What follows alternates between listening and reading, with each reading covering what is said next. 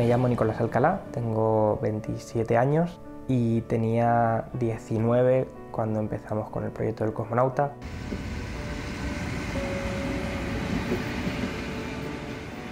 Mi nombre es Carola Rodríguez, nací en 1987 y tenía 21 años cuando empecé el cosmonauta.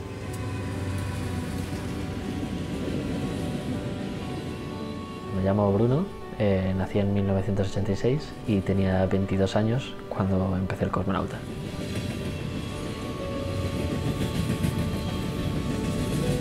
En el año 2008 comencé junto con Carola y Nicolás el primero cortometraje, luego se convirtió en largometraje El cosmonauta. Era un proyecto transmedia en el cual queríamos contar la historia de la carrera espacial a través de una película, 36 cortometrajes y un libro. Que era una película que desde un principio planteamos que iba a ser financiada de forma colectiva en Internet. a través de crowdfunding y distribuidos a través de internet y otros medios con licencias Creative Commons. y que queríamos que se distribuyera de manera libre.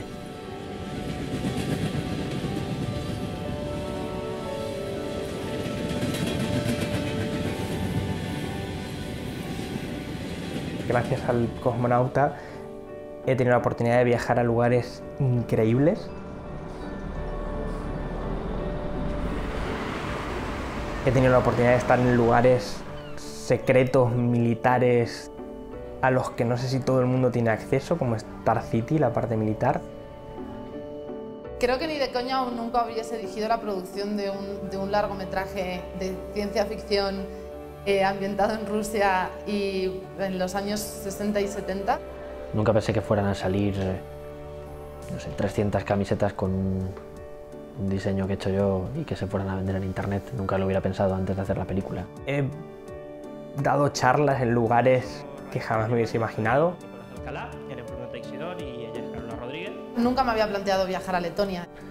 No sé, irme a Rusia, a rodar cortometrajes extraños eh, que sirvieran de, de preludio y de, de epílogo a una película. Eh, no lo hubiera pensado nunca. El objetivo de la película eran dos cosas. Por un lado, hacer una película, contar una historia, y por el otro, hacer un proyecto que tuviera el potencial de cambiar el status quo del cine y al mismo tiempo hacernos vivir una aventura. ¿Se logró el objetivo? ¿Mm? ¿Se logró el objetivo?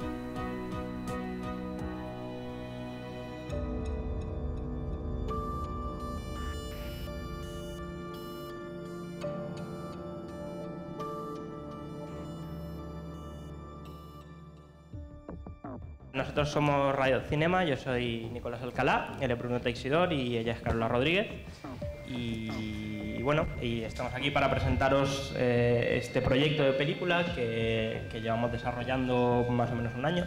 Bueno, pues eh, El cosmonauta, como ha dicho Nicolás antes, ya centrándonos específicamente en lo que es la película, es, como ha dicho él bien, ciencia ficción, es un largometraje, es drama, está ambientado en los años 70, en la Unión Soviética, en la Unión Soviética que había perdido la carrera espacial. Conocí a Nicolás en el instituto, eh, era amigo de un amigo de un amigo mío.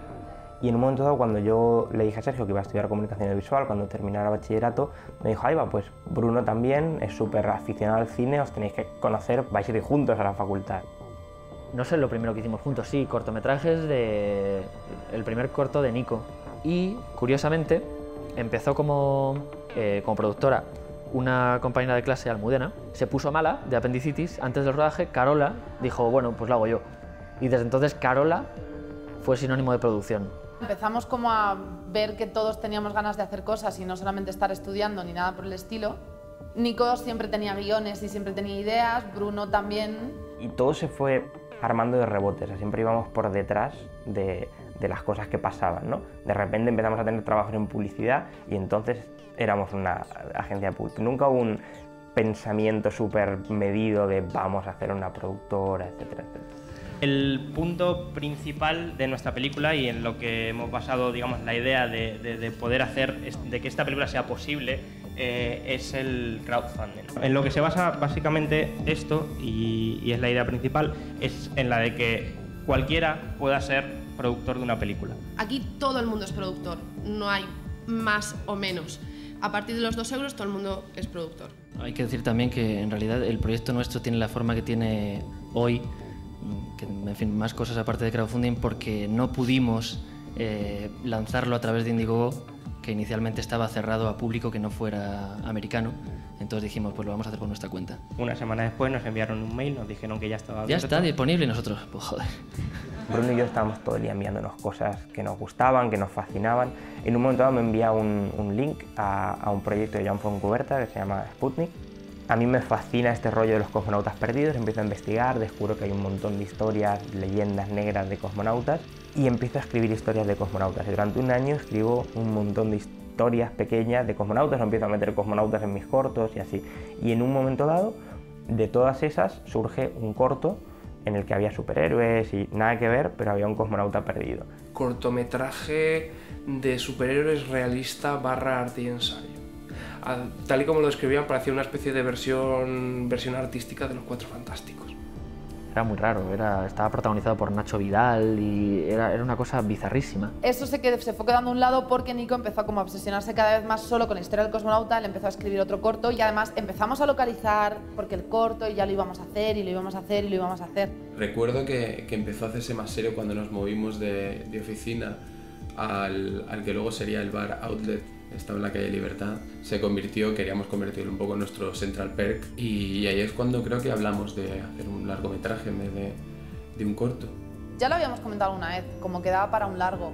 Fueron como, como un mes o tal donde de repente empezaron a suceder cosas eh, y de pronto aquello era un largo, ¿sabes? Otro de los puntos, como podéis ver eh, así fuertes, es que vamos a estrenar la película en internet gratis y en HD. Em, la realidad es que con esto nosotros eh, no perdemos nada y pensamos que la comunidad sí que puede ganar mucho. Eh, Bueno, sí, y supongo que al principio era más quijotesco, ¿no? En plan de el futuro va a ser así y quien no lo vea eh, está ciego y eh, o con nosotros o contra nosotros, eh, P2P, no lo sé, éramos como más, más punkis. En este caso, por ejemplo, nuestra película va a estar licenciada con la licencia más libre de Creative Commons, porque nos ha apetecido, que es la de Attribution Share Alike, atribución compartir igual. Con el compartir igual, esa eh, obra derivada, estás garantizando que siempre pueda generar nueva obra derivada. Evidentemente cualquiera puede mm, joderte y hacerlo mal, pero también pueden hacerlo bien. Entonces lo que nosotros estamos haciendo con esto es jugárnosla y proponer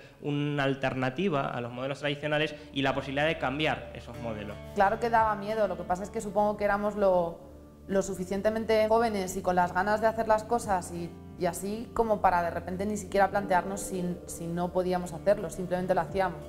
Yo siempre lo vi un poco naif. Quiero decir, esto que te digo de tenemos, queremos cambiar el mundo, tal, eso es lo que quería hacer Nico y por, y por transferencia lo que querían hacer Carol y Bruno. Yo, yo, yo soy una persona muy pragmática y yo siempre dije, mm, bueno, bueno, no sé, El el primer año yo te diría que es más que nada poner en la maquinaria para rodar un teaser y llegar un poco, un poco al público, fue lo que se hizo.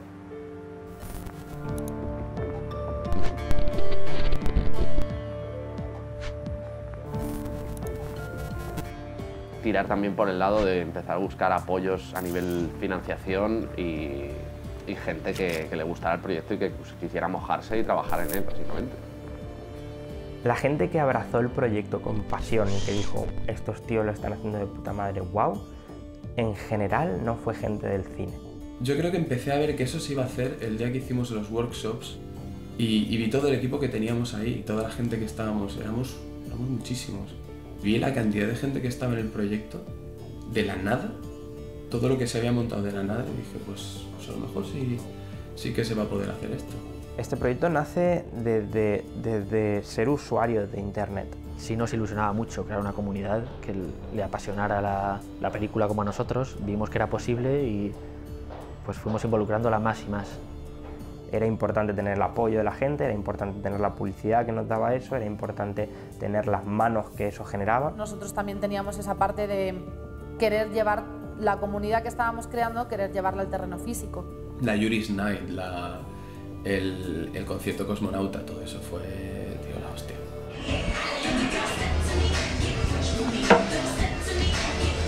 Toda la fiesta de los mil productores ha acabado hace una hora y aquí hay un montón de gente que aún no se quiere ir. O sea, tú estás ahí, tienes 20 años, 20 años 21 años y estás haciendo fiestas para recaudar dinero para, para hacer una película de ciencia ficción.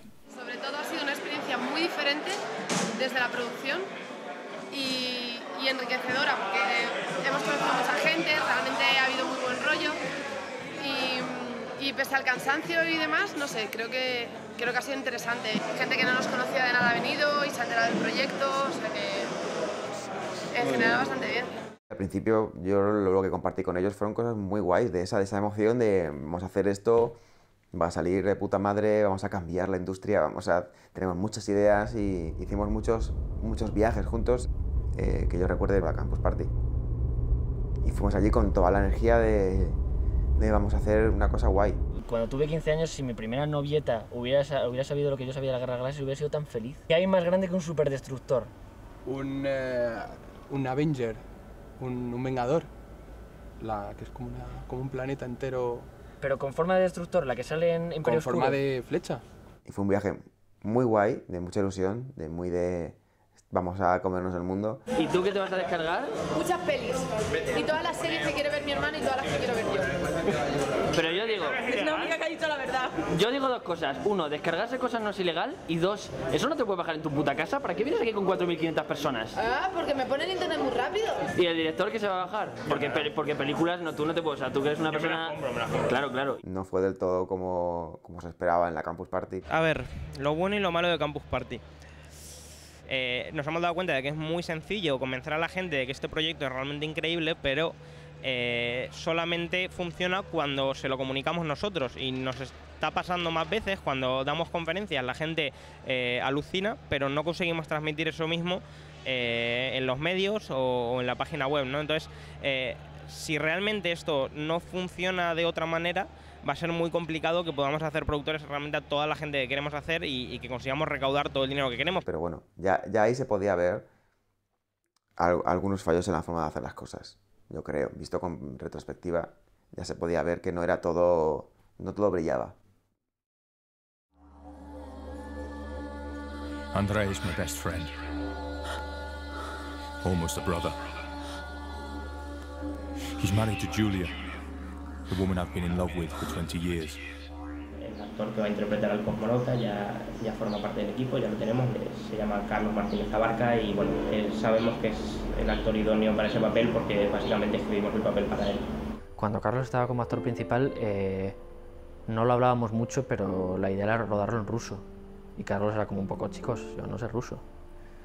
Yo recuerdo oírlo del ruso, pero ya, bueno, creo que todos hacíamos así. Mm, No, creo que mejor que no. Iba, o sea, participé en el teaser, en algunos actos promocionales, tenía la sensación de estar en el proyecto y de que realmente ese personaje alrededor de los 40 años y esa historia de ciencia ficción más humanista, tipo pues, Solaris o 2001, ¿no? estaba más volcado a, a un tema casi filosófico y meses después mm, vi el, el nuevo guion que había, donde la historia había cambiado radicalmente y viendo el- lo que estaba publicado en la web es cuando pues, ya tenía la mosca detrás de la oreja, digo, esto ha cambiado y yo no me he enterado. y hasta aquí yo no pinto, ¿no? Cuando esto era un cortometraje, para mí era clarísimo que, que él era mi, mi actor. Y en el momento en que esto crece y decidimos hacer un largometraje en inglés, fue la única razón por la que tuvimos que renunciar a contar con Carlos.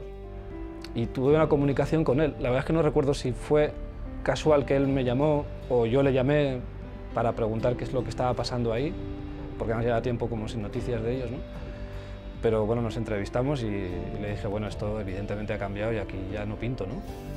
Y me dijo, no, no. Era, era una obviedad que, que íbamos a tener que dejar de contar con él, con muchísima pena. Entonces me senté y simplemente lo encaré lo mejor que pude. Mira, no me gusta. es claro que creo que se pueden hacer las cosas, se deben hacer las cosas de otra manera. Él se sintió muy parte del proyecto en un principio, se sentía el cosmonauta. Y así se lo hicimos ver y creer durante mucho tiempo. Y de repente quedó fuera. Y fuera, que, de fuera de... No recuerdo si, si nos, nos debimos acordar de invitarlo al estreno, o sea, con eso te lo digo todo. El nivel de exigencia era más alto cada vez, cada vez estabas más quemado, cada vez era todo más serio eh, y más industrial, pero tú lo ibas aprendiendo, era- era- te ibas metiendo piedras en la mochila y lo ibas aprendiendo.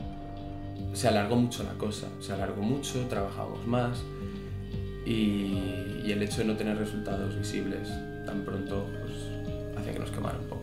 Todo el mundo estaba muy involucrado en cierta forma, pero claro, hay que tener en cuenta que ninguno estábamos viendo un duro. Me daba la impresión de que estábamos empezando a morder más de lo que podíamos tragar. Es que al final, es que son muchos años, es mucha tensión, un proyecto muy largo que, que les exigía todo desde el principio. No, no fue en plan, ok, tenemos 400.000 euros, pues entonces ahora rodamos y ahora vamos. O sea, tuvimos muchísimos momentos en los que literal teníamos cero euros en la cuenta del cosmonauta. Literal. No, no pensé que fuera a tardar tantos años en salir. Pero como no me lo planteé en ningún momento, sí recuerdo que en el tercer año o algo así, antes, de rodar, cuando todavía no estaba 100% definida la fecha de rodaje, era como, Dios, ¿se va a acabar esto algún día? Ya quiero hacer otra cosa con mi vida. En un momento dado fue cuando dijimos, hay que ponerse una fecha de rodaje. Tenemos seis meses, vamos a poner que es más o menos junio del año que viene. Tenemos seis meses para conseguir lo que nos falte de pasta, lo que podamos conseguir, para conseguir la coproducción, para armar esto. Entonces ahí empezó una cuenta atrás.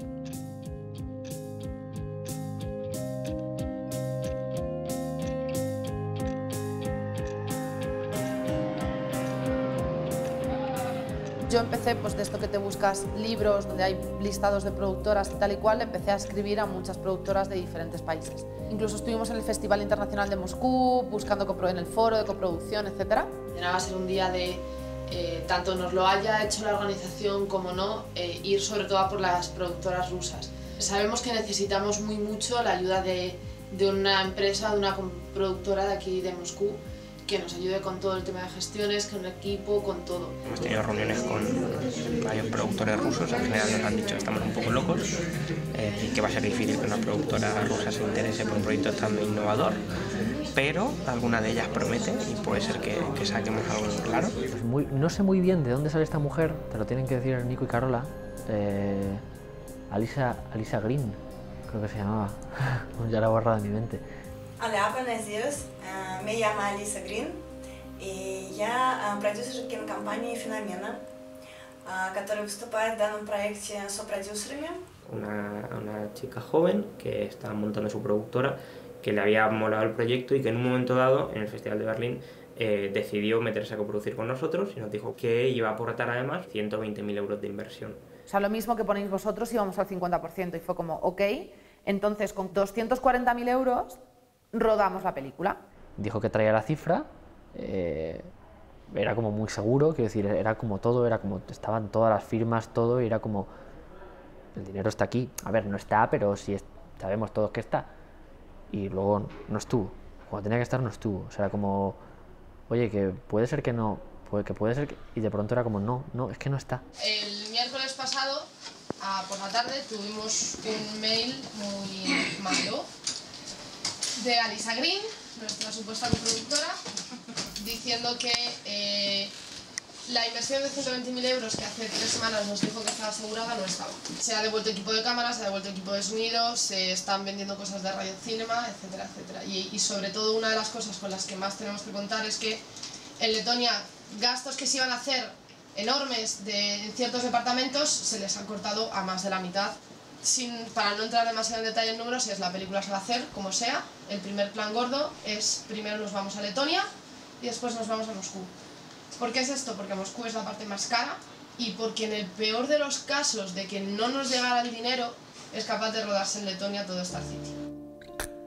Em, se, llega, se llega con un poquito de inconsciencia, la verdad. Yo, por ejemplo, ahí en esa parte sí que hay una parte de inconsciencia, a lo mejor incluso por mi parte, porque yo como, quizá como directora de producción, nunca debería de haber permitido que empezáramos a producir y que empezáramos a gastar dinero en, en producción como billetes de avión y así, sin haber tenido realmente como más certeza con esta mujer. Creo que el mayor error que cometimos eh, fue que no firmaron ningún contrato Teníamos como un precontrato así en plan...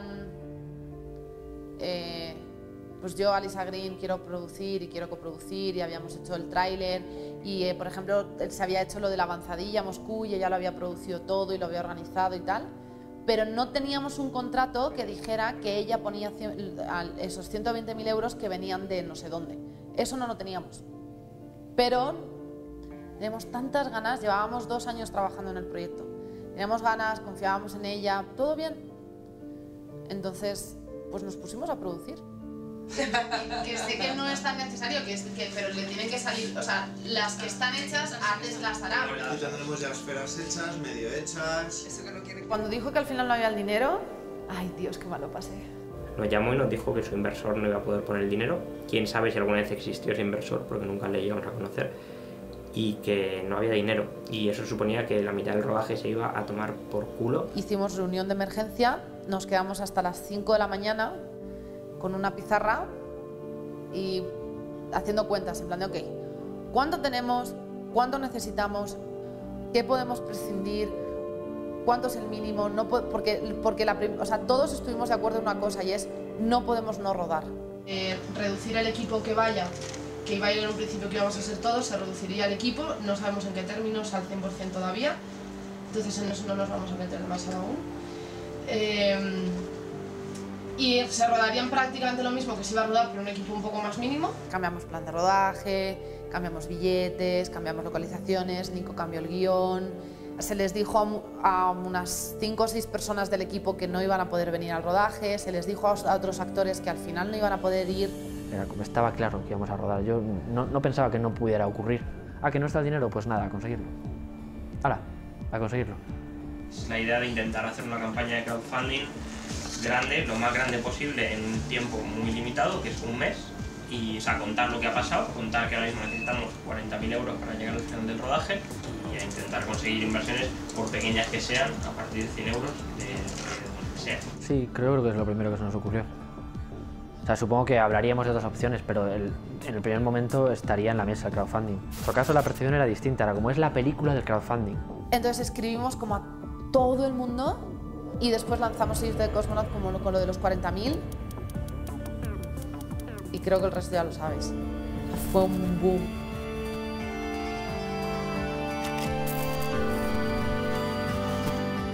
Ahora mismo tenemos el 48%, o sea, hemos recaudado la mitad de la pasta que necesitábamos eh, en solo 9 horas o algo así, ¿no?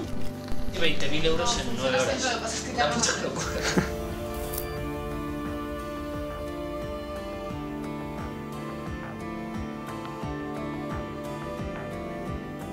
Teníamos el mail petado de gente que de repente decía, no, pues quiero poner 1.000 euros, quiero poner 2.000, quiero poner 3.000.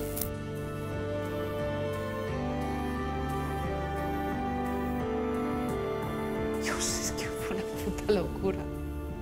Nos fuimos de una manera muy, muy guerrillera. Me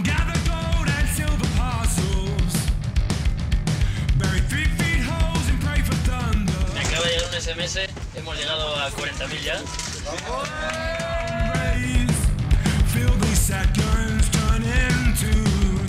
Uno no se va a educar, básicamente está dando un cabezazo.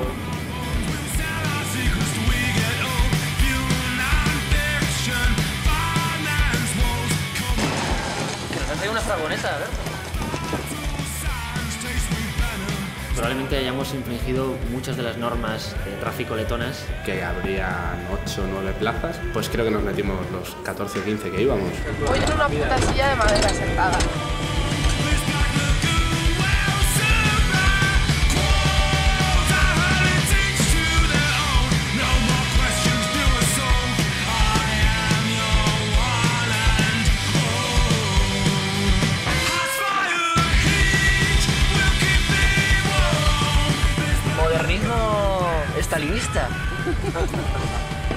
Se puede pedir? Bueno, al llegar parecía como sitio idílico, cabañitas en el, en el bosque. Luego ya empezamos a descubrir las sorpresas que tenía Letonia guardadas para nosotros. Camas que eran tal que de dos dedos de alto, eh, hechas de cartón de cajas de huevo. Agua caliente limitada, mosquitos del tamaño de un avión. Oh, I swear it's like fucking, it's Jurassic Park, man. It was Jurassic Park. I, like, I got eaten alive. Recuerdo escenas que se tuvieron que cancelar porque los actores tenían que estar hablando a la vez que estaban fuera de cámara espantándose mosquitos. O sea, ahí no te rascabas, te hacías heridas, te rascabas la costra. Luego más tarde he oído que el, el rodaje coincidió con la peor temporada de mosquitos de Letonia en mucho tiempo. Tío. Me han picado pero bien. El Medical Facility, que era un lugar no, extraño, no sé, es que era un poco... O sea, tampoco hay adjetivos. Y cuando nos contaron la historia flipamos en colores, porque resulta que, que eso era la residencia de verano de Brezhnev, eh, que era el, el líder de la, de la, Unión Soviética durante varios años, y, y, lo que había al lado, que era un edificio enorme, era un edificio de habitaciones para alojar a sus huéspedes. Cuando él invitaba a la gente a su residencia, pues los alojaba en un edificio de 15 plantas. Un sanatorio donde la gente iba a darse tratamientos termales, masajes, pero la gente eran viejos. Podría traducirse en un viaje en el DeLorean a los años 70, eh, en el que nos encontrábamos en una residencia de ancianos barra manicomio barra proyecto extraño de Stalin. Es un lugar en el cual se han mantenido todo como, como si fuese la Unión Soviética. Intentaban estar anclados en el tiempo para que estos señores mayores tuviesen ahí su, su lugar idílico, ¿no? su paraíso, su, su, Magdalena de Proust. Советский Союз сохранился, как это ни странно, в Латвии, союз, те же разговоры. No había dinero y una de las formas de conseguir la localización de Star City, o sea, el Yulmara Medical Center, era que incluyera la comida. Gente mayor rusa con 80 años, pues ¿qué comen? Pues comen papillas. Oh no, otra vez a cenar porridge. Nobody could stand the food. Realistically, it was it was not fit for human consumption. Y le contábamos a la gente de Letonia que nos encontrábamos después lo que nos daban de comer y todos abrían mucho la boca y los ojos y decían, pues no puede ser, pero es que eso hace 20 años que ya no se come. Eso, eso lo comían en la Unión Soviética. Pero aparte de eso, cuando a ti te entra la sed y tienes ganas de saciarla, pues te encuentras con que el agua no es un producto que allí se lleve demasiado y lo que sí beben es mmm, sangre de zares. Un pequeño vaso muy estrecho donde te ponían una fruta descompuesta y un agua que había tomado el color de esa fruta. Y extrañamente no notaban que en el mismo estado en el que lo ponían en nuestros vasos se lo encontraban cuando venían a recogerlo. O sea, era, era asqueroso. But that was fine, you know, we are meant to be in Russia in the 70s, so it was kind of method for me, you know, eat horrible food and not much of it.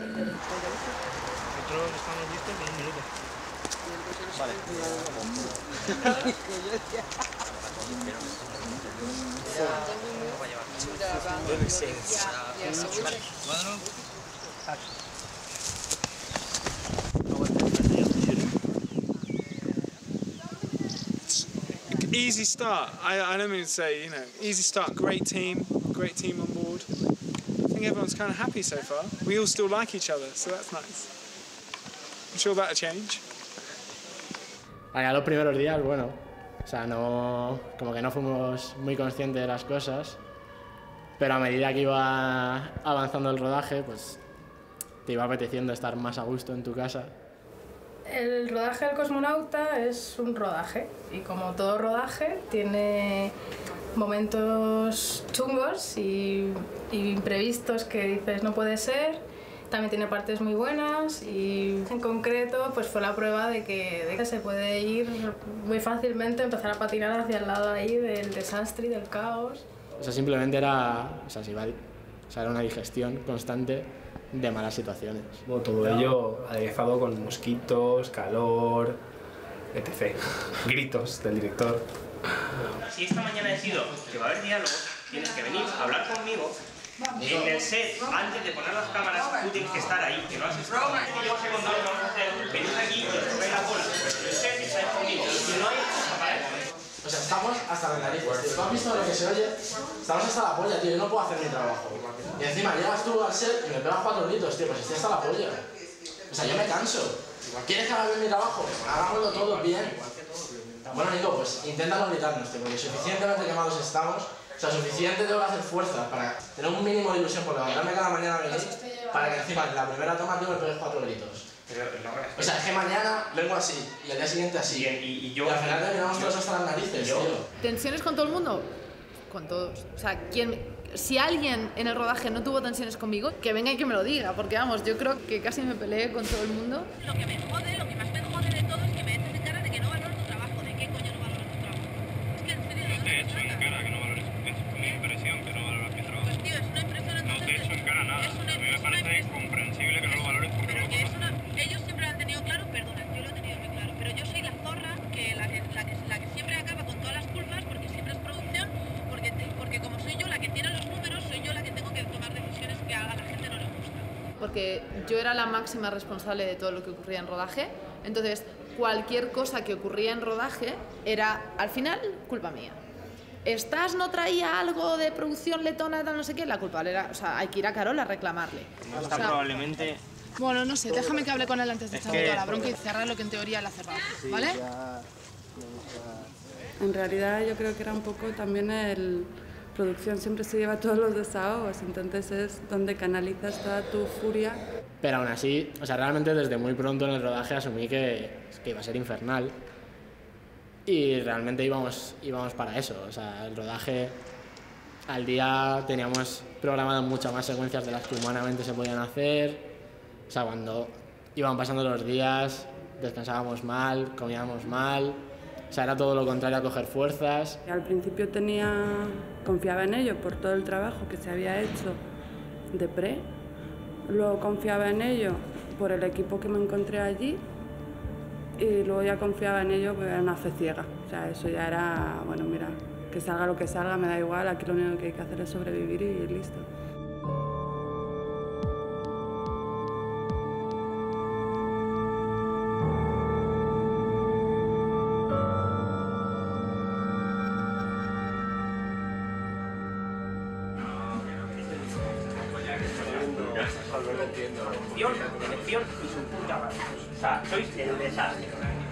Son las 2 y 20, vamos a hacer la puta secuencia. 155, olvídate del transmedia, ya lo haremos después. Traedme a los actores, traedme a Luz, que monten una puta de las tres cámaras, que monten las luces, y en media hora quiero estar rodando la 155. Fin de la discusión.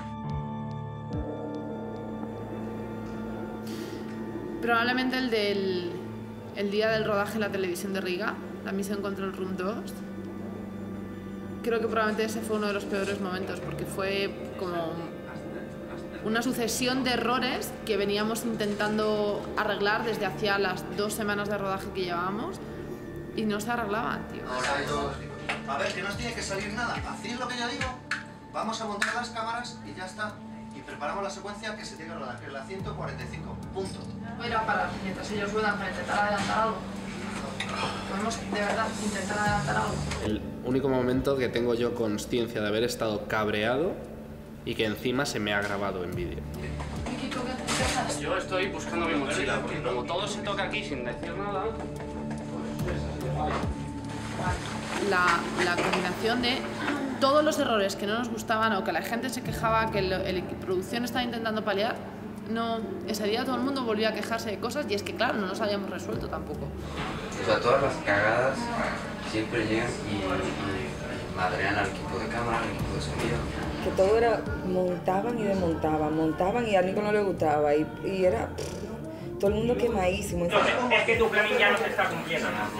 ¿Sí? ¿Dónde estoy rodando yo a las 3? Vale, ya está rodando. Ya está rodando. Pablo, Pero jura por Dios. ¿Tienes listo de tu iluminación?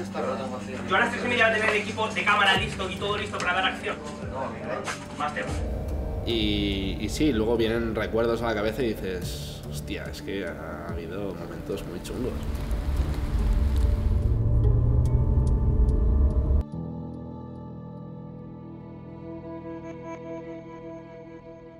One of the most ridiculous days we had on filming in Latvia was when we arrived at the seaside.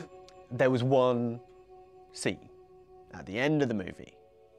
One scene. It's like maybe 30 seconds. It was an early call. I mean, we got, I think it was like a 6.30, 7 a.m. call. and we, we knew it was a bit of travel, and we, and we got into these things, and, and we just drove. We drove and we drove and we drove and we drove. Six hours or something, we drove. We arrive at this place and we have a bit of lunch, and it's quite nice, and it kind of looked fine. We've travelled quite a long way and it's a nice location, and then nothing's happening, and nothing's happening, and nothing's happening. And it kind of filters back. Nico doesn't like the waves. There aren't enough waves on the sea. And I was like, all right, but it's the fucking sea.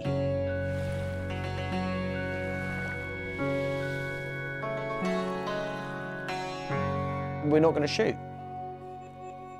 And I just remember going like, are you, are you fucking serious? Like, we're not to shoot anything? Then when we went, we travelled even further the, on another shooting day to find these waves, and we had exactly the same sea conditions. But Nico apparently liked that one. That day was quite frankly the most ridiculous experience I've had in a film set. The wave thing became significant for the fact that the image was so much more important than getting on tape what we needed to, to tell a story in a movie. Hubo un día que Max me agarró y me dijo, te olvidas que eres la productora. Dice, te olvidas. O sea, te, te olvidas completamente de que eres tú quien tiene que decir qué se hace y qué no se hace. The problem is, I don't think Nico, at that point, respected that that was the dynamic, and Carola didn't feel that she could um, override him over anything. Tampoco creo que Carola le diera golosinas a Nico.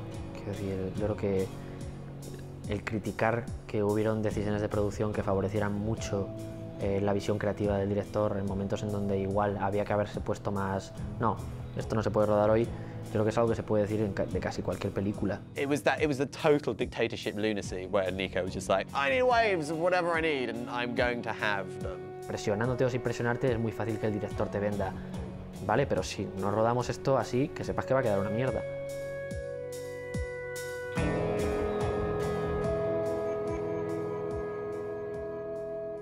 Puede ser que los- parte de los problemas de producción sí vinieran con que era la primera vez que nos enfrentábamos a un equipo tan grande.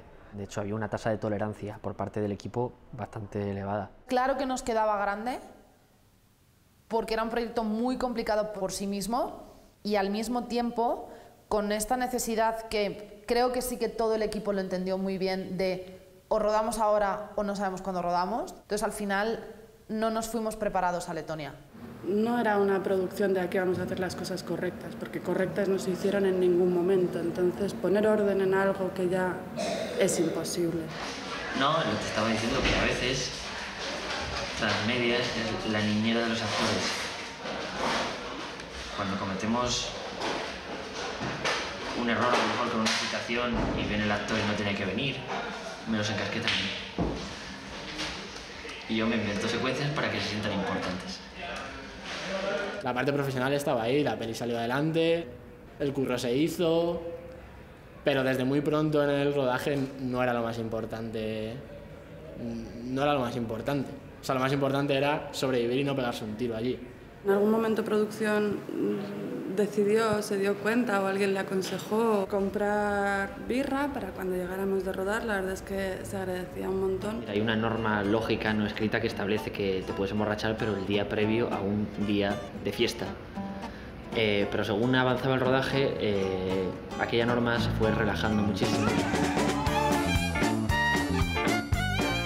Las borracheras del equipo que las pagó producción creo que fueron más producentes que contraproducentes. O sea, dentro de las condiciones de trabajo horribles, de las opciones de no salario, eh, que planes de, de trabajo que estaban hechos que no nos sirvieron para nada, creo que el hecho de pagarles las borracheras fue lo mínimo que pudimos hacer ahí.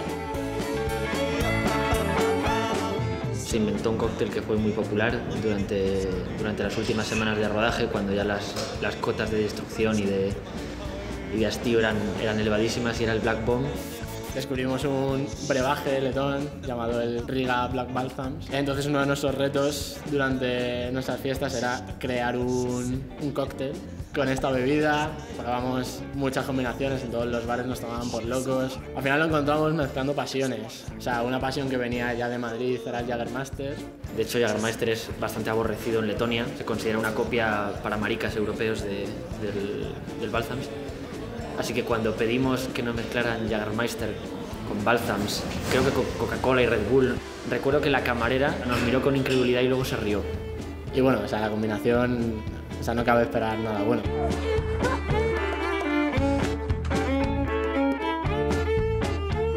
Que desfasábamos y tal, pero cuando había que desfasar, normal, como en cualquier equipo, como en cualquier rodaje, como en cualquier trabajo. Da igual que nos emborrachásemos a vida o muerte, que llegásemos de empalme, o sea, en realidad al día siguiente allí todos con cara seria, nadie decía nada en alto, o sea, todos teníamos miradas cómplices de sé que te estás muriendo ahora mismo. Todos sudábamos, en plan, lo estábamos pasando fatal, las rodillas me temblaban, sudores fríos, pero te acordabas de la noche anterior, te descojonabas y seguías. Sin todo eso, creo que el rodaje no se hubiera, no, no se hubiera terminado. Okay, this is a lesson about how people smoke in war films. If you're English, you smoke like this. You say, dear boy, no, this, that, and the other. If you're American, you hunker down.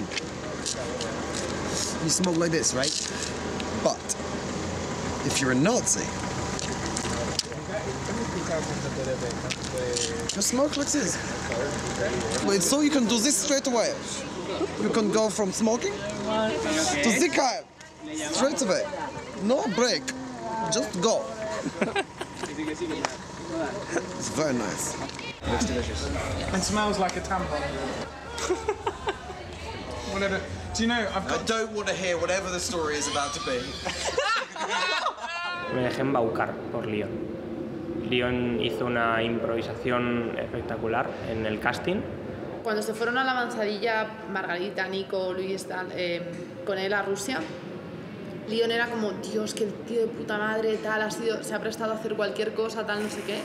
Fue un rodaje de una semana porque necesitábamos escenas del cosmonauta en la nieve. Fue precioso, nos llevamos súper bien, él fue súper generoso, fue muy guay. What was exciting about that was that felt very freeform because we, we just had an opportunity, a window to go and do that. And we stayed at crazy Russian man's house in his dacha and we ended up drinking loads of vodka. Yo todavía no soy capaz de entender qué, qué clic le, le, dio en la cabeza para al segundo o tercer día de rodaje empezó realmente a, a, a ser eh, maleducado. Bueno, es que era una falta de respeto absoluta constante. Cosas vastas y sueces para intentar como violentar a la gente que lo rodeaba y lo conseguía. I think what happened very early on in the shooting was because I didn't want to have dinner with everyone every night because you know I know we're going to be spending a long time together and stuff. I think this became interpreted as um, oh Leon doesn't like us, he hates the food, he hates the crew, he hates this, he hates that, and I think I became like um, almost uh, the projected devil figure for everything that was going wrong in the film. We were all expecting to be, you know, shooting all the time, very, very busy, kind of, you know, always working, always shooting, and, and that was kind of how we were sold on the project, that we were going to have this kind of creative freedom. I kind of, I thought I'd signed up to a slightly different job, and I guess that was the shape of, um, that was the beginning of the problems, really. tenía las secuencias que yo creo que son más complicadas y eran las de su personaje completamente solo, sin interactuar con nadie, eh, en un mundo desierto, vagando por bosques, por plantas eléctricas abandonadas, por, por muchísimos sitios. Entonces yo creo que de alguna forma eso, eso le quemó.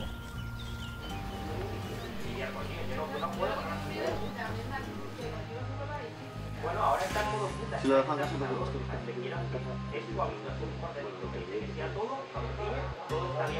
gusta. Juego aquí, van a volar. I think Nico probably regrets working with me. Did his job and did it well, I think, but, but I don't think he wanted to give much more than that because he was, I think, quite angry with production about how it worked out. Conmigo se disculpó muchísimo cuando volvió a Madrid.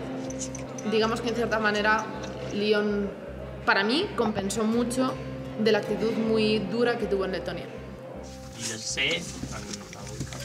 Brilliant. I will do that. En Madrid, que yo dudaba incluso que fuera a venir porque la relación acabó muy mal en, en Letonia y Moscú, en Madrid fue, fue estupendo. Creo que los dos tuvimos como esta actitud de ya está, lo pasado pasado está, los dos nos comportamos como unos gilipollas, yo creo que tú no tenías razón, yo creo que tú tampoco. No hubo un perdón explícito de ninguna de las dos partes, pero sí tácito. ¿no? I think, you know, if I'd go back, would I do things differently? Yes. But however, that's part of the process. I don't regret doing it at all. in our first week, we had a real problem because, you know, the three of us have all worked in film and in cinema and, and, and TV and with cameras a lot for our careers. And I remember the conversation happening about three days in, we're sitting around going like, we're not getting any coverage. We had a chat and basically we said, if you carry on this way, you will not finish your film in time. El trabajo ya lo hice, lo hice en los ensayos, di la libertad suficiente para saber si iban a ser creativos, para que ellos supieran que podían ser creativos proponerlo. Ahora el turno, es mi turno de decir no. Todo lo que proponen y me gusta, lo compro. Lo que no me gusta, no lo compro, pero no quiero darles más alas, porque más alas a un actor que puede improvisarlo, toma la película por asalto. Ellos quieren poder salirse del cuadro donde quieren y yo esté con 18 cámaras filmando cada movimiento. It was disjointed. There was a, there was a hell of a lot of time being spent setting up a very, admittedly, a very beautiful image, but then there was no time for the acting. We would do maybe one take, maybe two takes. If you are absolutely sure of what your director wants and where you're going, and they're very experienced, you kind of go, okay. But when you aren't really sure what he's trying to achieve at that point, and that's not being communicated to you, that becomes a worry very quickly. No le, si no le das nunca nada de lo que... Nico, de lo que... les permito que se metan los guiones, les he pedido que escriban, me dijeron, hey, tenemos una idea para la escena de la mano en el hielo, o sea, queremos meterle la mano en el hielo.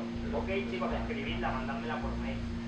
Escribiendo escena, una pedida hacer una mala cosa. No te digo la ellos, cambiar nada tuyo. No quiero, es que es muy pensado lo que estoy haciendo. Con lo bueno es que si solo dijeran mis líneas, sería perfecto.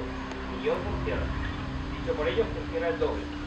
Si además proponen cosas, estupendo, tienes el pack, porque sacas cosas seguras. Si no las proponen, van a funcionar igual. I kind of had this realization like these guys are in the deep water. You know, they've jumped in with all the enthusiasm in the world, but their foot isn't touching the bottom. And right now, what I need to do, instead of necessarily challenging that, is respect the bravery and go, right, what do I do to help?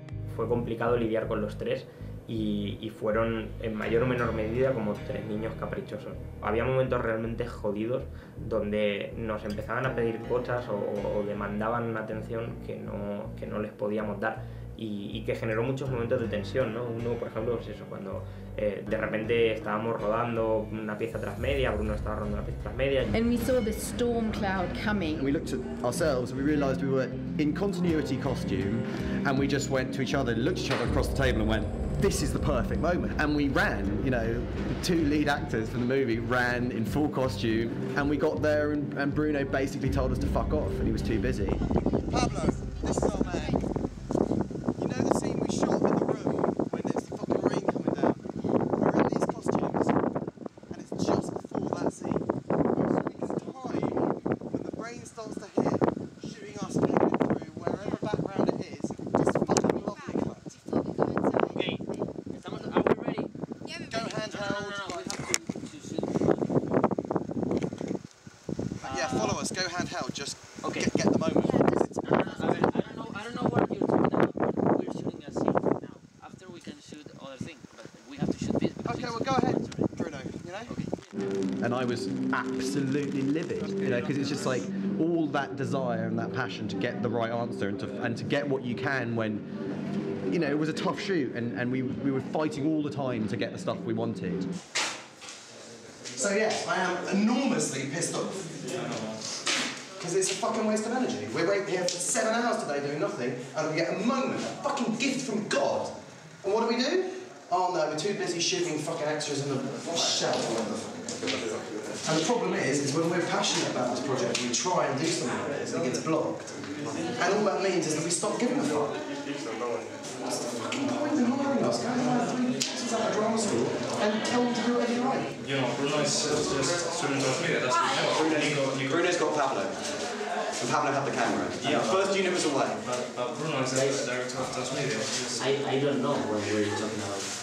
When your actors run for, you know, 200 yards to get to you because there is a moment when it was about to start raining and we needed to catch that moment. You're the only person on set with the. Or, or who needs it? The film needs it. The film needs it. Who says that?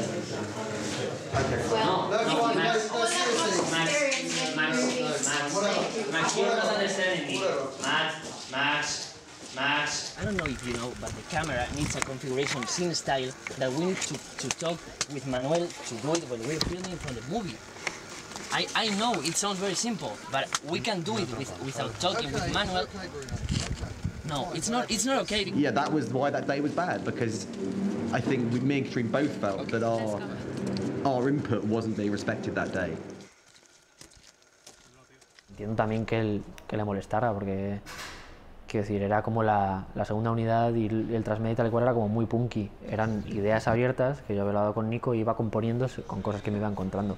A veces incorporábamos cosas con las que trabajábamos con los actores. Quizás eso que generaba un clima como de "Ah, aquí puedo opinar hasta el apuntador.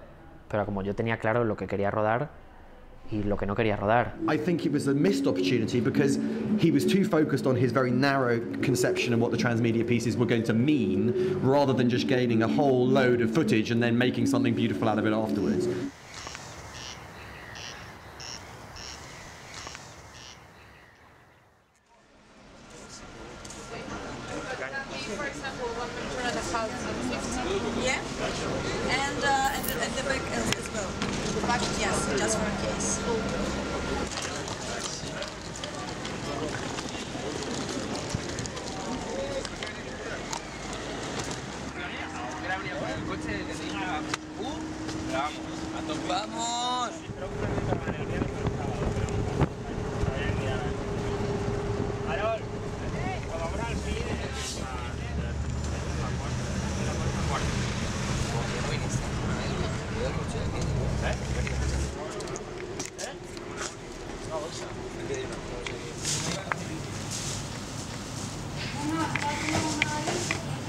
Maleta me la vamos a llevar siempre encima, ¿no? O sea, ¿por? Yo mis cosas no las dejo aquí en mi vida. No. El buen rollo está ahí dentro en las escaleras.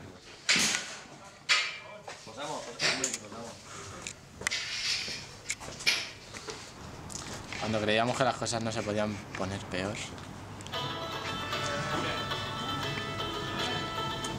Ahora, dime que lo has hecho todo. Sí.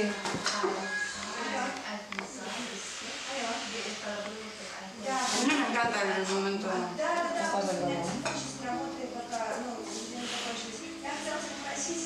¿Tienes el pasaporte en tu mano?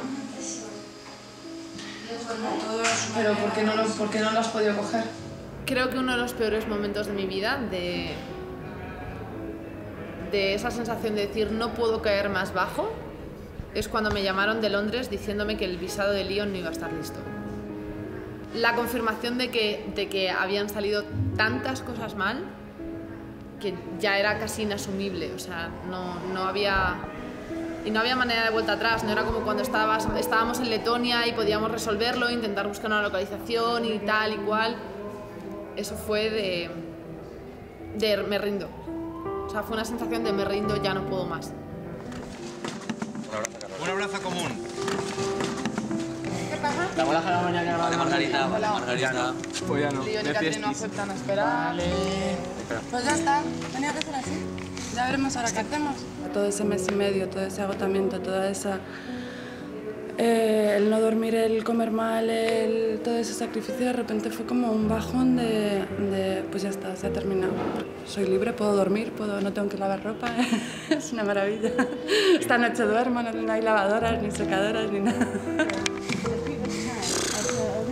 Sea, a mí lo que me escama es que te dijeran que sí y luego que no. Esa es la putada. ¿Y a mí qué te crees? Porque esa es la putada de que alguien haya metido mano, que es, es lo que de verdad O sea, jodería, ¿tú cómo, ¿sabes? tú cómo te Que crees? sí, sí, sí, sí, sí, sí, sí, sí. O sea, eh, fue muy repentino, de repente lo teníamos todo asegurado, lo teníamos todo confirmado y de repente, no, es que acaban de cambiar la ley. Se cerraron en banda, totalmente.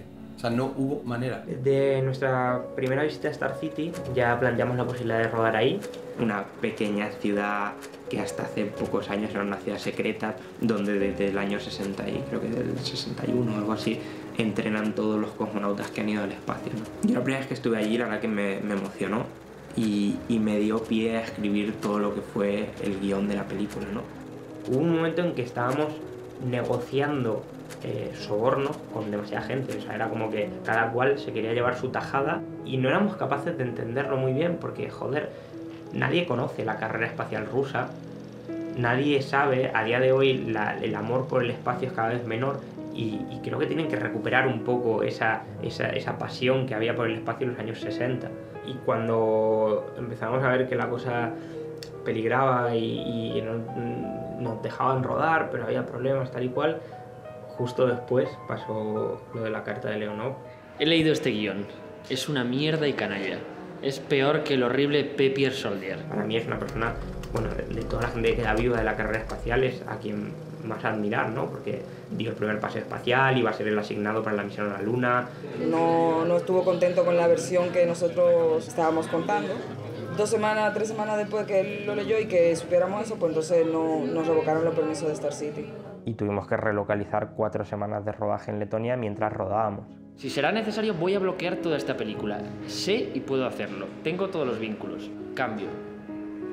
Teníamos los permisos para rodar. Yo he estado en Star City, en sitios donde hay gente que no puede entrar.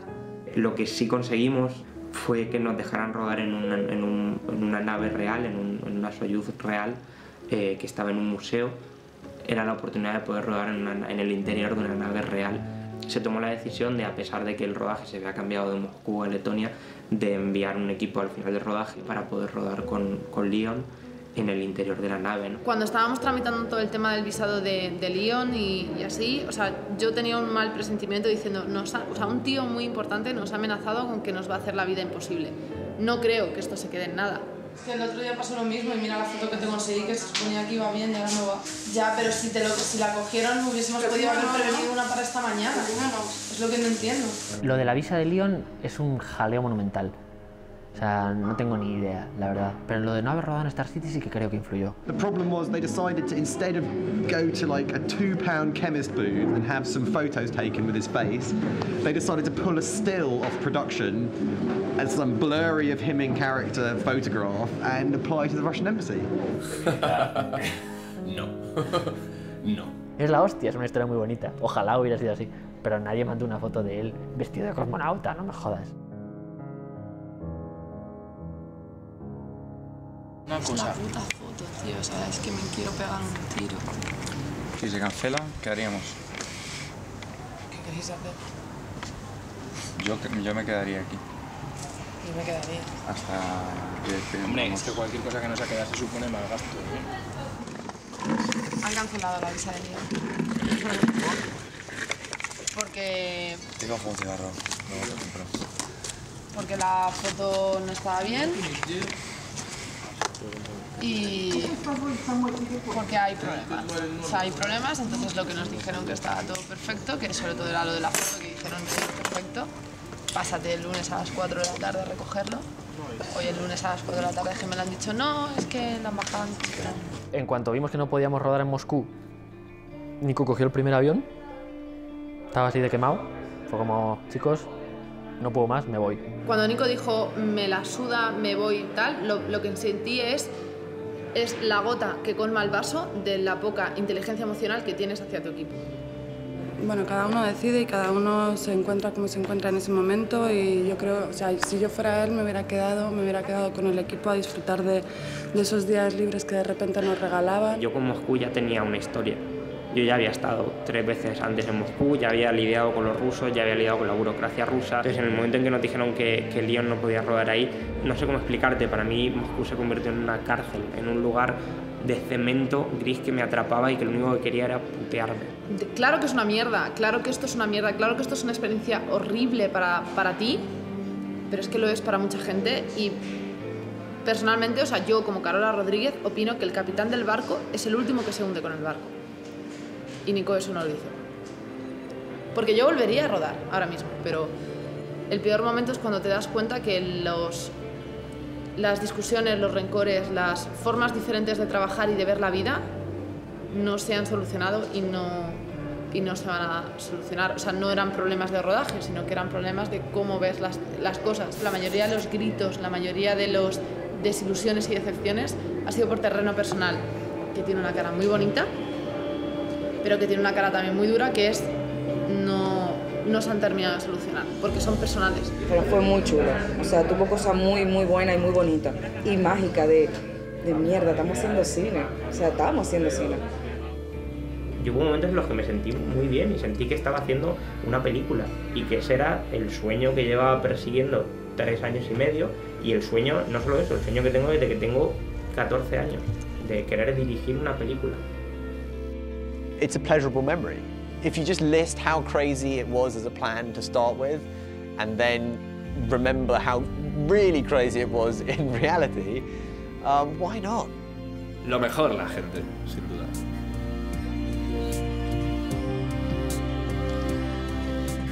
Lo mejor el equipo. O sea, yo me he llevado a un montón de gente de. Para mí, lo- lo- una de las mejores cosas de rodaje, por supuesto, es el equipo. Volvería a rodar con cada uno de ellos en cualquier momento de mi vida, con todos y cada uno de ellos. Si no llega a ser el equipo técnico del cosmonauta, eh, no se podría haber soportado eso. O sea, fue, fue maravilloso. Y de que tuvimos mucha suerte de congeniar todos como, como una familia. Y mira, seguimos aquí todos haciendo delante de la cámara. Con lo cual será por algo, ¿no? Sí, la gente. I want to tell my grandchildren about things like six weeks in crazy Latvia. You know, you live for the things you did do rather than things you didn't do.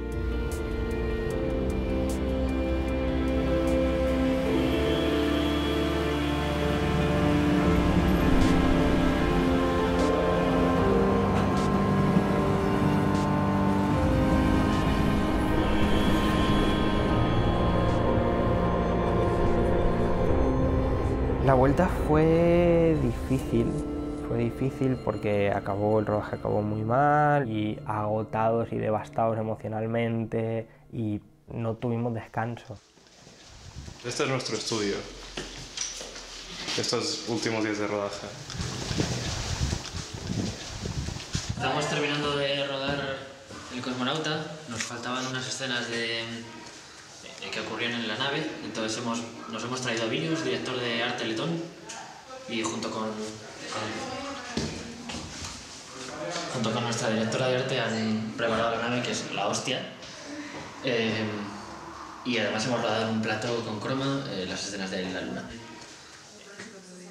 Seis meses después del rodaje volvimos a juntar a todo el equipo porque con, con todo el follón de Moscú nos quedaron escenas del interior de, de la nave sin rodar. Fue bastante eh, bien, o sea, fue bastante tranquilo, todo, la verdad que fluyó bastante guay. Lo que ya empezamos a ver por ese entonces, que claro, que se había empezado la postproducción, es que el montaje iba a traer muchos más problemas de los que esperábamos.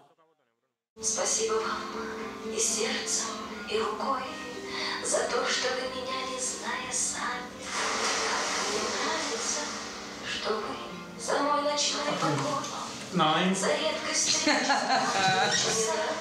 За нашими гулянье под луною, за солнцем и у нас над головой. Любите за мой ночной покой, за редкость встречи, за Oh, is this really in the film? I mean, what's happening?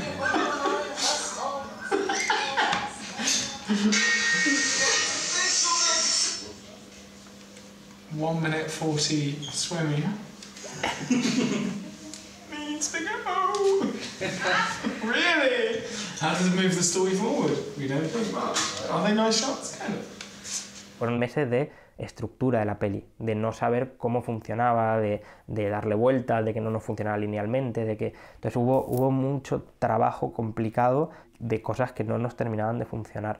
Había muchos niveles de, de realidades en la película y eso se filmó eh, de maneras diferentes. Entonces, en- digamos que encauzar todo eso eh, sí que generó algunos problemas, ¿sabes? Creo que se tardó tanto en editar porque Nico en ningún momento tenía realmente claro la película que quería hacer. Realmente lo creo.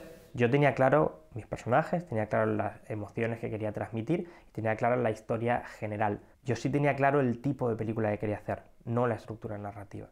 Creo que él escribió un guion que era increíble, era muy buen guion, pero no, no, no, no se quedó conforme, él no dejó, en su cabeza no dejó de evolucionar. Entonces, entonces creo que por eso no sabía la película que quería hacer, porque él nunca dejó, o sea, nunca terminó de elegir qué película hacer.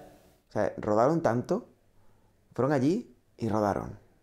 Y rodaron. Y tenían una idea vaga de un argumento y rodaron. Y rodaron. Y rodaron. Rodamos 140 horas de metraje, normalmente para una peli se rodan 20, 30. 140 horas de, de brutos. Y es como, tío, así no se hacen las cosas. Eso es, eso es porque no sabes lo que quieres contar.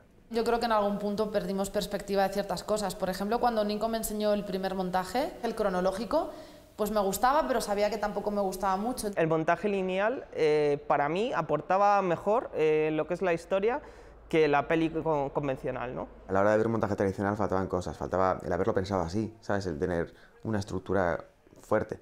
Entonces no funcionaba. Entonces al final optaron por este montaje de así más poético, porque realmente es lo mejor que mejor funciona. Porque por lo menos te quedas con la idea de que intenta trascender. Lo otro se, queda, se habría quedado como una película... ¿no? Esto por lo menos hay gente a la que le gusta por el rollo poético. Pasó a, través, a, a lo largo de versiones muy distintas la película, muy distintas. O sea, fue un proceso de edición, fue un proceso muy mutante. But inherently, it wasn't ours. You know, the cosmonaut's never been ours. The cosmonaut is one man's thing, and that's, that's Nicholas Alcala. That's, that's his baby. Cuando vi la película que él me dijo, yo estoy súper contento, me encanta, es el montaje final, yo lloré. Yo lloré durante una hora en mi casa, porque me la vi en mi casa al final. Y duran- lloré durante más de una hora de impotencia de decir, no me gusta y no lo he podido ni ver a tiempo, ni, ni ayudarle, ni, ni nada, pero esto no es la película por la que yo empecé hace cuatro años. Y eso, y eso te duele. Como productor y como persona del equipo te duele.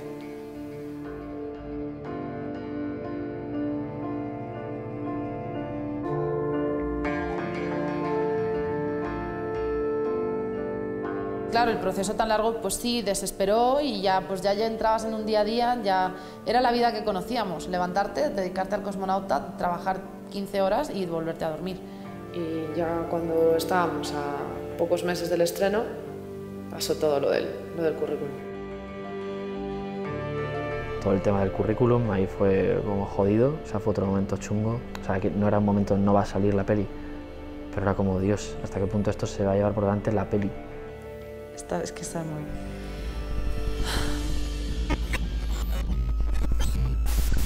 Es que esto lo he soñado yo. Y ya, ¿y ahora yo qué digo? Nico, mm, puedo caer en la rutina de la parafernalia detrás del cosmonauta, pero si algo es el cosmonauta, o se ha intuido que es el cosmonauta, es Nico por encima de todas las cosas. O sea, es como un ente, va unido. Nico tiene mucho que aprender y Nico tiene muchísimo de lo que disculparse por lo que hizo en rodaje. No tuvo una posición fácil, ni mucho menos. O sea, él siempre fue un- una figura que tuvo una responsabilidad increíble, pero le, fal- le faltó experiencia y le faltó humildad en el rodaje. Una sensación de soledad, de no tener nadie en quien apoyarme, de no tener nadie a quien poder contarle lo solo que me sentía. Y, y, y bueno, y, o sea, me sentí abandonado. Dice que le dejamos solo, que nadie contó con él y todo ese equipo estaba ahí por él y, y luego fue él el que no tuvo en cuenta muchas cosas de trabajo en equipo. Nico nunca, nu- nunca llegó a estar tranquilo con el equipo que le rodeaba porque siempre tenía la sensación de que si no estaba encima de nosotros no íbamos a dar todo lo que teníamos dentro. Y eso es algo que, que- que creo que no ha entendido, que, que- que no lo hacemos por él, que lo hacemos por nosotros.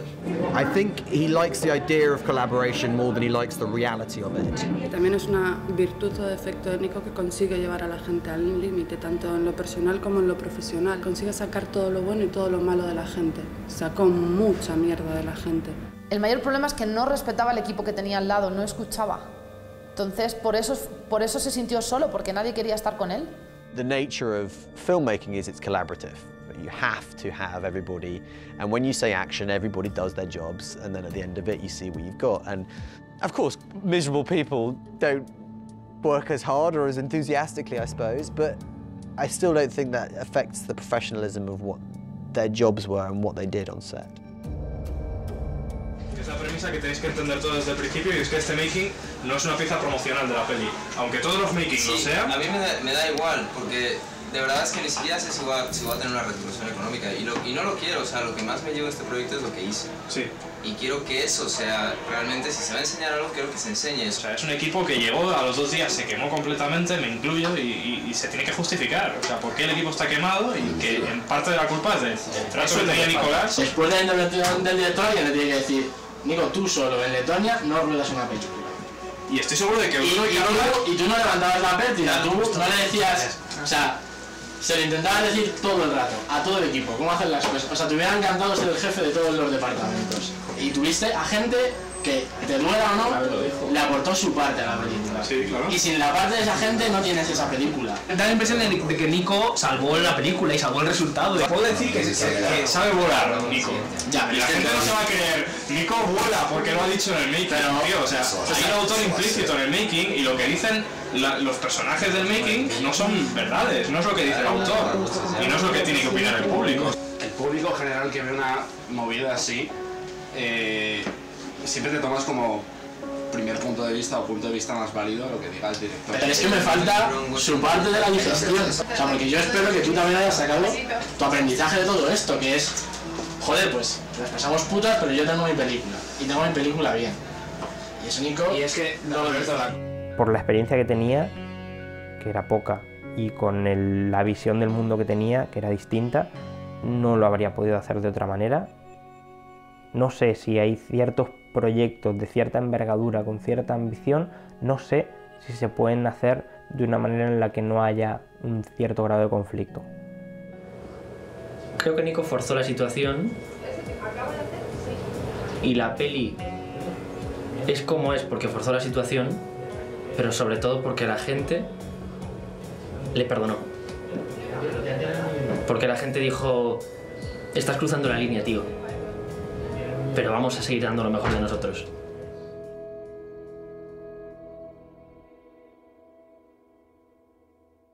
Bueno, unos meses antes del estreno nos llegó un mail a la productora, uno de muchos que llegaban, de alguien pidiendo trabajo. Era absolutamente genérico, ¿no? no se había molestado en modificar nada. Ese me llegó, no sé, otros simplemente los ignorábamos. Ese me, me tocó algo, me cabré, le respondí de forma muy cínica y muy hiriente y muy irónica y, y muy estúpida. Y posté la respuesta como ejemplo de cómo no enviar un email a una productora Puse Facebook y yo en ese momento me enfadé mucho, pero como que no pensé, no tuve, supongo que la suficiente visión como para saber que iba a trascender. Llegó, lo vi en Facebook o algo así, lo leí y, hice- y dije, ay, Nico. Y me puse otra cosa.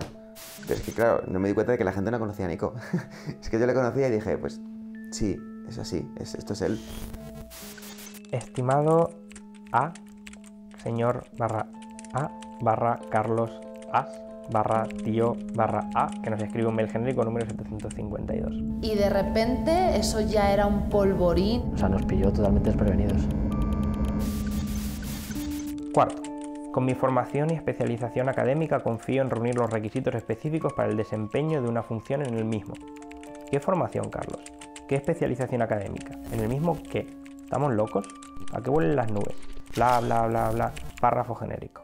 En luego cosas muy salvajes, amenazas de muerte, amenazas a mi familia, a mis amigos, hackeos de cuentas, insultos muy graves, eh, me animaron a suicidarme varias veces, hubo amenazas por teléfono, una ola que mucha gente que tenía mucha tirria a la película aprovechó para tirar mierda sobre la peli, sobre el proyecto. Aquello no paraba. Al principio te piensas que eso parará en una hora, que luego pues con la disculpa pensamos, pues, pues bueno, la gente lo entenderá, no paró. No hemos leído tu currículum, pero como tú tampoco nuestra web ni lo que hacemos, lo mismo surgen cosas divertidas, como que te hayas confundido y en realidad seas pescadero. Quinto, nos quedamos más tranquilos, sin embargo, por el hecho de que nos saludes atentamente. Ya es algo. A lo mejor podemos ser amigos algún día. Sexto, no. Postdata, si eres pescadero, dínoslo, tenemos un puesto para ti. Creo que es un mail que no se debía haber escrito. Es un mail muy falto de empatía que generó una falta de empatía absoluta y brutal en otra gente también. Es una cadena de despropósitos. O sea, estaba enfadada, estaba rabiosa, estaba im- impotente porque de repente el trabajo de muchísimos años Y el trabajo de mucha gente se había empañado, em- se había empañado completamente por una estupidez de Nico. Lo escribió en nombre de los tres. Escribió en mi nombre. Se decidió que la estrategia iba a ser de pedir disculpas y ya está. Sea, todo lo demás silencio, ¿no? No entrar a discutir con nadie, no intentar defender lo indefendible. Que tomamos muchas más precauciones de las que, pero en el momento que se parecían totalmente lógicas. Eh, ¿Sabes? Desconectar los ordenadores de internet y tal y cual, porque, quiero decir, cualquier chiflao con, con los conocimientos eh, necesarios podía haber pasado ese día por forocoches, haber visto que el divertimento del día era putear a estas personas y qué sé yo, lo teníamos, quiero decir, teníamos todos los ordenadores con- conectados entre sí, cosas en la nube, cosas, o sea, podían haber, si quisieran, podían haber jodido la película, vamos, te digo yo que nos podían haber jodido, pero bien.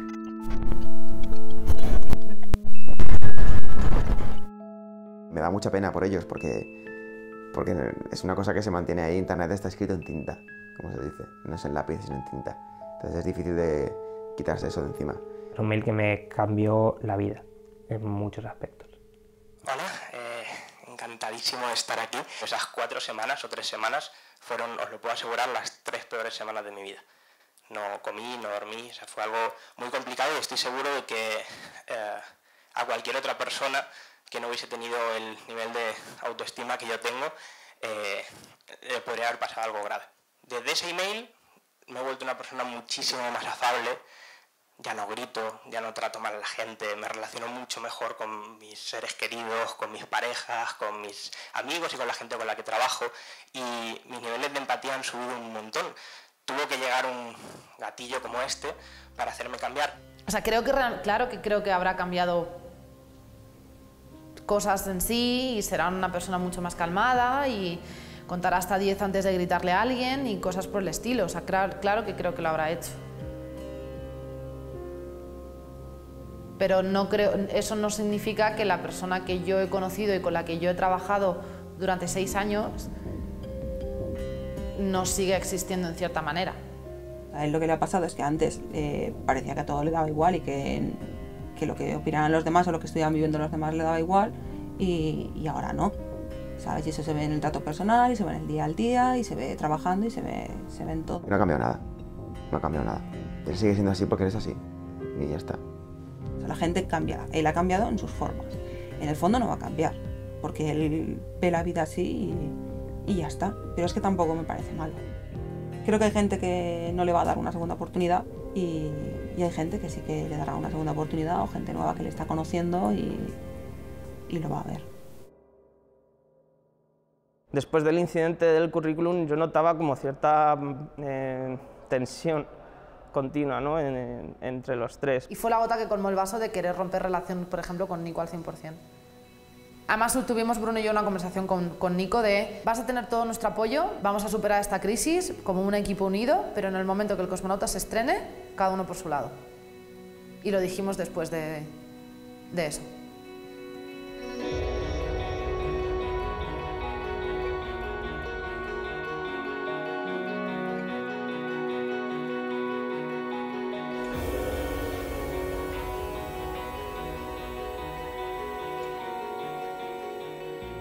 Al igual que hubo un momento en el que no parecía que el rodaje llegara nunca, hubo un momento en el que no parecía que el estreno fuera a llegar. No sé de qué manera eso se organizó para que pudiéramos estrenar esa peli y que nada, nada fallara. Fue un milagro. ¡Wow! 1.500 personas, callao, las, las de esto, o sea, todo fue como una nube impresionante de sensaciones, de... Hubo, hubo alegrías, hubo enfados. Recuerdo mucha emoción con el colibrí proyectado en las paredes. Los créditos, cada vez que, claro, o sea, estábamos nosotros allí, cada vez que salía un nombre chillábamos todos súper emocionados, ¿no? Todos celebrándolo, ¿no? Es decir, hemos llegado hasta aquí gracias a toda esta gente y lo estamos viendo en la, en, en la principal sala de Callao. O sea, llevábamos cuatro años trabajando en esto y era como, Dios mío, pero hostia, que eso lo hemos hecho nosotros. En parte sí, en parte sí que sentía alivio de que estuviera ahí en la pantalla, porque era como, bueno, ya lo que pasa a partir de ahora, lo que ocurre es con la película ya hecha. ¿Sabes? Ya está hecha, ya está subida a internet, ya... Vale. Fueron, fueron días bonitos, los días, los dos o tres días antes del estreno, como de sentir, sentirte realizado, decir, hostia, lo hemos hecho. Lo hemos hecho.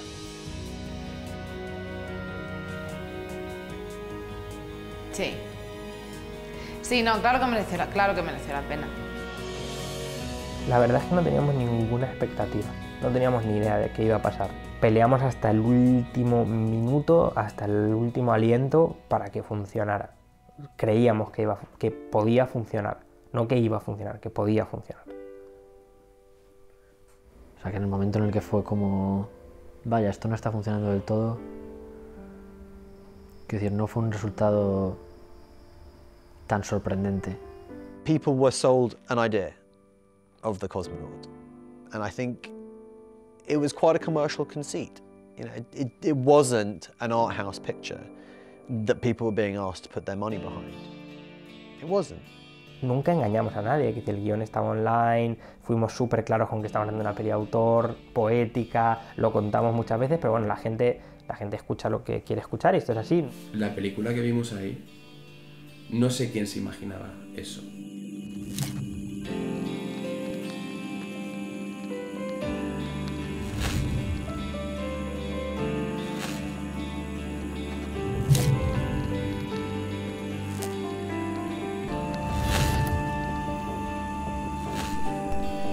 Quizás por un lado fue eso, fue un encontronazo muy duro con la narrativa eh, fragmentada y con el carácter experimental de la peli.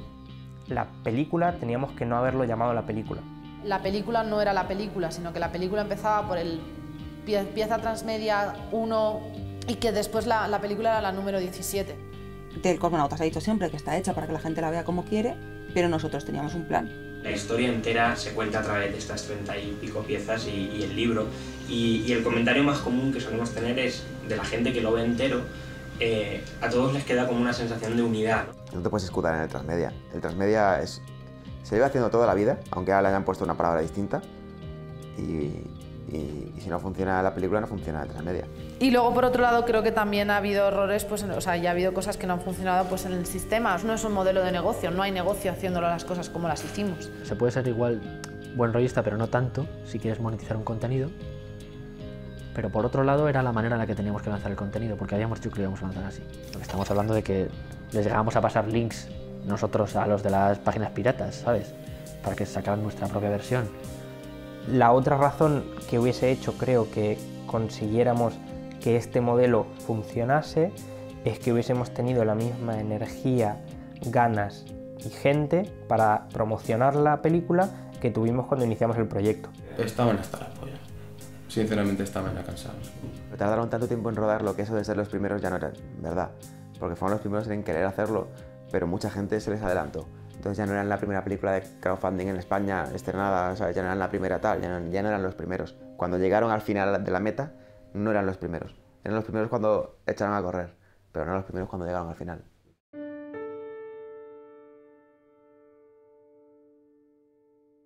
A ver que recuerde. A ver. Nosotros pedimos una subvención en el 2010, que era una subvención de apoyo a obras audiovisuales que fomentan el uso de las nuevas tecnologías. Y era como, o sea, es, es nuestra oportunidad. O sea, en ningún otro sitio vamos a encajar. Habíamos ya pedido alguna otra subvención era como, "Eh, no nos le iban a dar ni de coña. Y de pronto era como, tío, o sea, es, eh, es que encajamos. Lo que descubrimos es que en esta subvención, de la que solo se ha hecho una convocatoria, que obviamente es muy nueva, el ICA no le ha puesto mucho cuidado y entonces lo que ha hecho ha sido adaptar unas bases antiguas a un modelo completamente nuevo. Cuando presentamos todas nuestras facturas y todas nuestras cosas, nos dijeron, oye, pero aquí faltan setenta y pico mil euros que no habéis gastado. Es como, ya, son los setenta y pico mil euros de los sueldos diferidos. Y entonces nos dijeron, pues no, esto no puede ser, la Ley General de Subvenciones solamente admite como gasto pues una nómina o un pagaré o, un- o una factura. Tú no puedes presentar 73.000 euros que no has pagado porque son contratos diferidos, eso no se admite.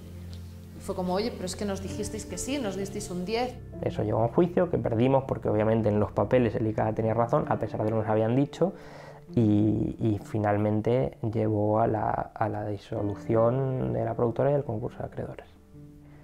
Y la pena es la película, porque la película es, no es solo literatura, que es, es una cosa que es de mucha gente, que no se pueda exhibir, que no se pueda... ¿Sabes? Que ese tipo de cosas pasen es una putada y pueden ocurrir.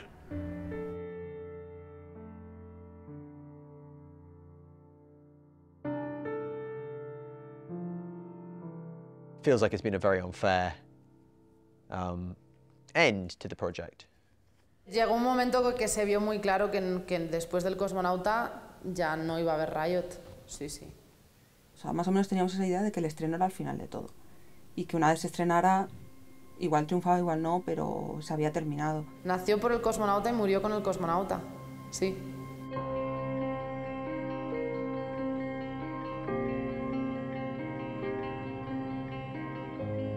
Bruno era mi mejor amigo.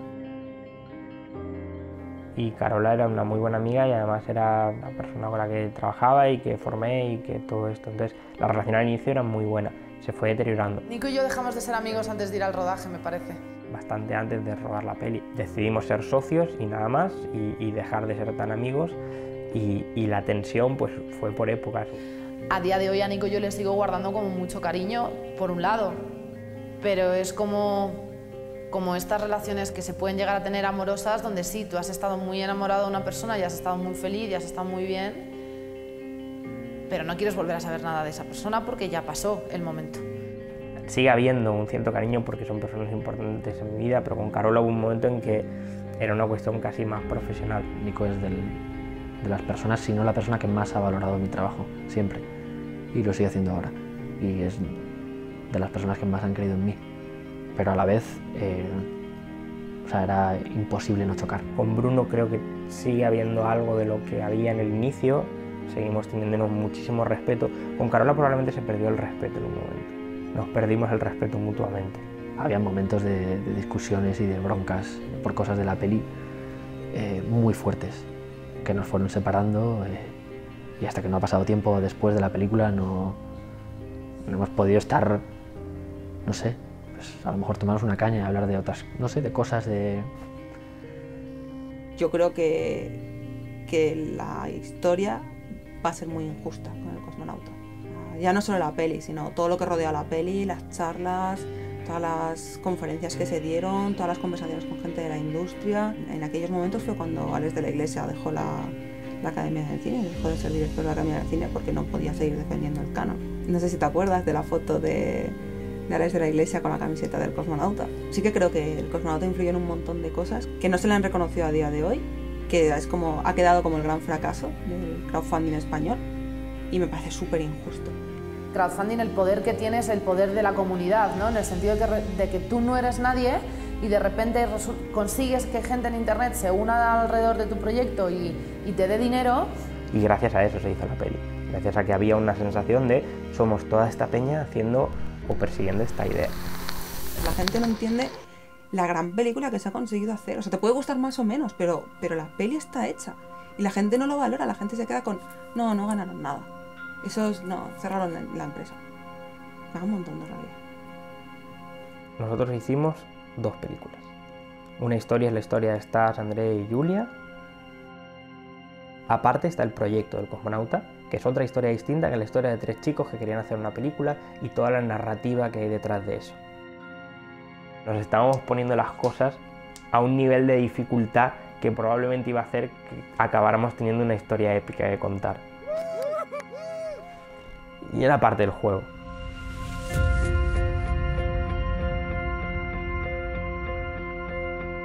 No me arrepiento de absolutamente nada. Creo que todas las decisiones que uno toma hay que hacerse cargo. Me arrepiento de muchas cosas, me arrepiento de no haber sido lo suficientemente fuerte o, o, o, de no haber aprendido lo suficientemente rápido como para hacer las cosas diferentes. Ahora haría muchas cosas diferentes. Pero me arrepiento sobre todo de no haber seguido ciertos instintos que me decían que, que había ciertas cosas que no se tenían que hacer de esa manera. Sí, me arrepiento de no haberme lo tomado más como un juego. Y tomar parte de broncas y de malos rollos que sí, creo que si simplemente me hubiera dado la vuelta y hubiera salido de la habitación cuando hubieran ocurrido, todo hubiera ido mejor. Hostia, ¿qué he aprendido? Sería imposible definir en pocos minutos todo lo que he aprendido en este proyecto.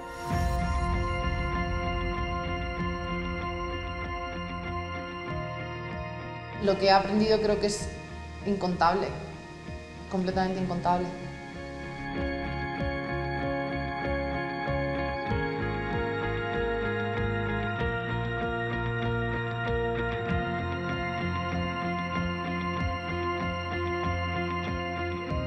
Sí, creo que puedo tener una experiencia similar, pero no igual. O sea, no tan loca, seguro que no tan loca.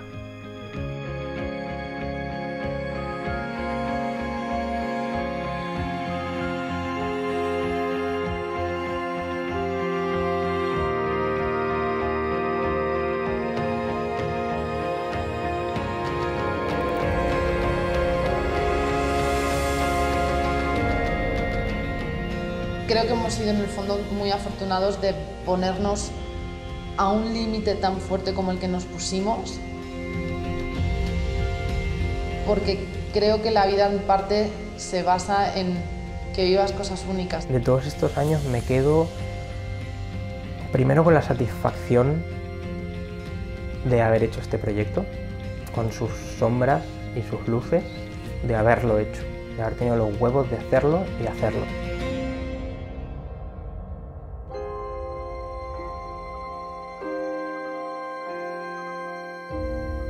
Sí, lo volveré, sí, lo volveré a hacer, claro que lo volveré a hacer. Seguro.